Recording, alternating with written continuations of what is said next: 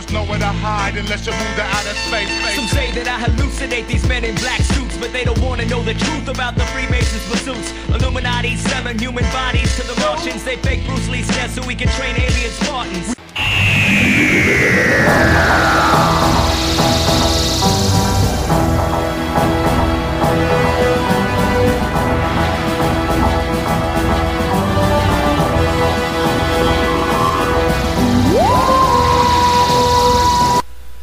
We just saw was the TARDIS, Doctor Who's time machine going through a wormhole, a vortex, a stargate.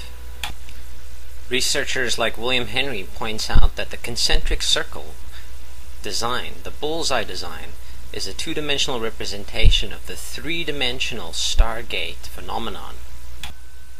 The stargate, a circular motif, usually associated with radiating light. A water door, sometimes also called an eye. Oh. Fantastic. That was a scene from the pilot episode of the newest incarnation of Doctor Who.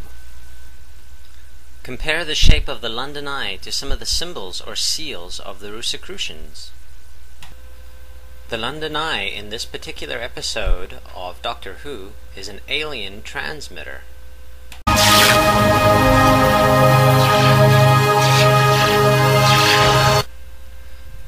Synchromystically, we have now connected the London Eye through this Doctor Who episode to aliens and the concept of the Stargate.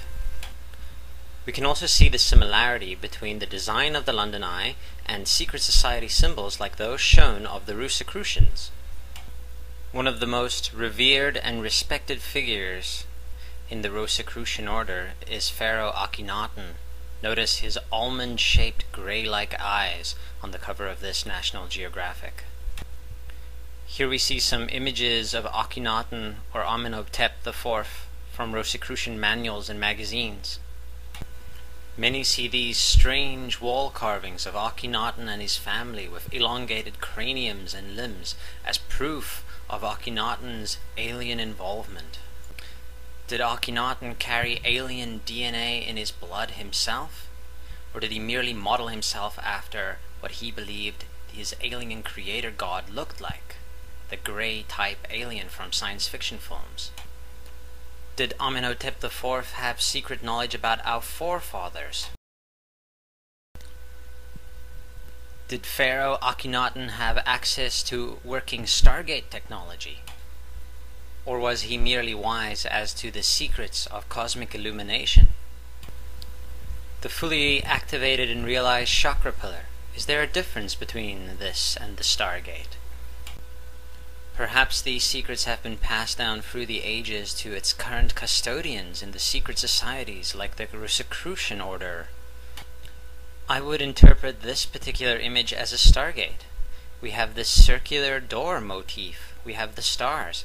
We have the ladder ascending into the heavens. It's a Stargate. I believe 9-11 was part of a ritual to open a Stargate or contact our alien creator gods. A secret society orchestrated mega ritual that invoked the pyramids of Giza. See part 1 for more details. Remember that ideas like the Stargate and contacting alien creator gods can also be viewed as metaphors for higher consciousness or cosmic illumination, the contacting of the god inside. The method that I use to explore these themes on my blog is called synchromysticism. I define it as the art of finding meaningful coincidence in the seemingly mundane with mystical or esoteric significance. I do not believe that secret societies control things. I believe that they exert massive influence, but that is all. They, like us, are part of the one consciousness experiencing itself subjectively, like Bill Hicks used to say. Their footprint will be necessarily seen in major world events like 9 11 until we assert our connection with the divine for ourselves.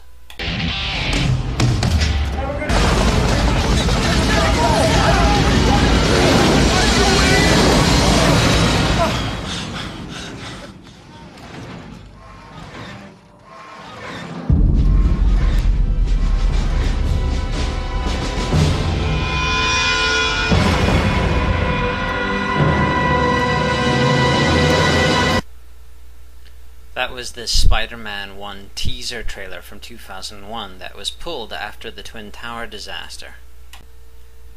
First, we have to note who is bringing us this film. It's Columbia, or ISIS, with her illuminating torch. Spider Man's giant web in between the towers forms the concentric circle bullseye design, reminiscent of the Stargate. The sun our eastern star is seen illuminating the space between the two towers. Synchromystically, we can now amazingly see a stargate with the illuminating light of a star coming right through it, in between the two towers. Here we can see the two towers which have been connected to Boaz and Jachin of the Freemasons, and which I have connected to the pyramids, in the eye of Spider-Man on the poster for the first Spider-Man film.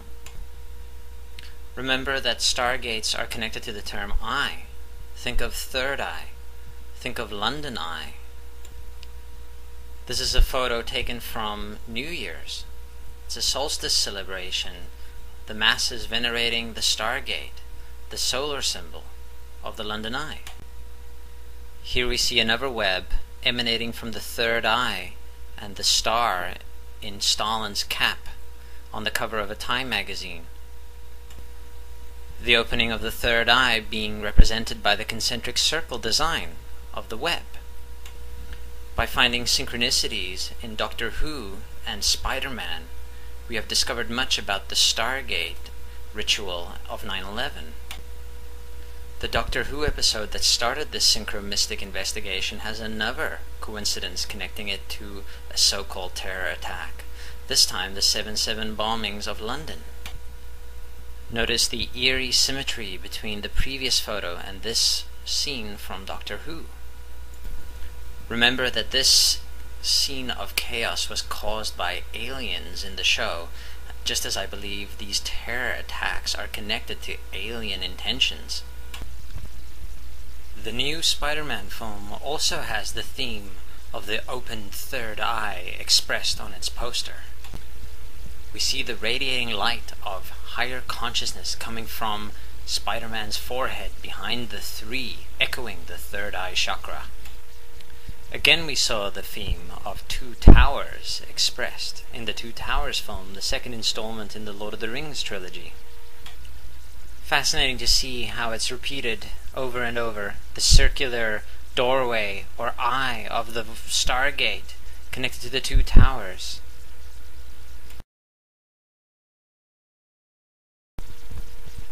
Here's another interesting bit of synchromysticism. We can tie the themes of Spider Man, the London Eye, and 9 11 all back together in one news article. We can read here that on the 11th of September 2004, a man dressed as Spider Man protesting, climbed the London Eye. In my personal opinion, these synchronicities show to us how the universe plays with itself and tries to send us messages embedded in the very fabric of everything if we just look from a certain perspective. I believe if we open our minds to the ebb and flow of coincidence around us, we can learn much valuable information about the world we inhabit. If you would like to learn more about the 9-11 Mega Stargate ritual and other amazing synchronicities, check out my blog at thebravenewworldorder.blogspot.com. Thank you. They killed Kennedy, Biggie, Tupac, and Abe Lincoln. They planned the Titanic sinking. They killed Marvin Gaye for thinking. They killed Versace. Canceled Joanie Loves Chachi. Killed Prince and Stein, framed the paparazzi. It's all an evil plan written by the Illuminati long before Adolf Hitler.